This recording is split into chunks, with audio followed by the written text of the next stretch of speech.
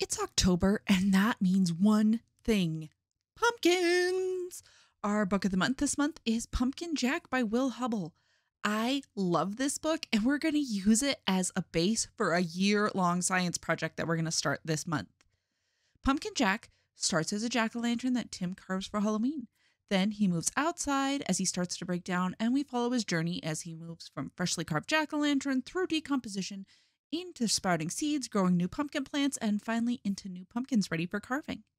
This is a great combination of enough story to keep kids engaged and enough facts to introduce them to that pumpkin life cycle. Grab a copy and get ready for a pumpkin filled month.